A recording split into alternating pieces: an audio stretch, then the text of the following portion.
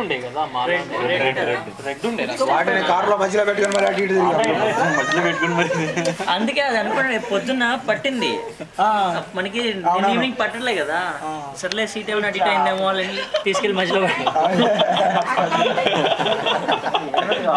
పట్టింది కరెక్ట్